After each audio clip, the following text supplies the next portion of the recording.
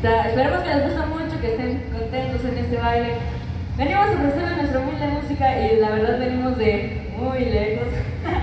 Eh, esperamos que les guste nuestro show, nuestro, nuestra música, lo que les venimos a ofrecer. Gracias por la invitación. La verdad que la, la, la es un lugar muy bonito y Tijantepec también. So. Les vamos a enviar a las niñas del teléfono algo que está sonando muy fuerte en las radios para que se pongan a bailar y esto dice.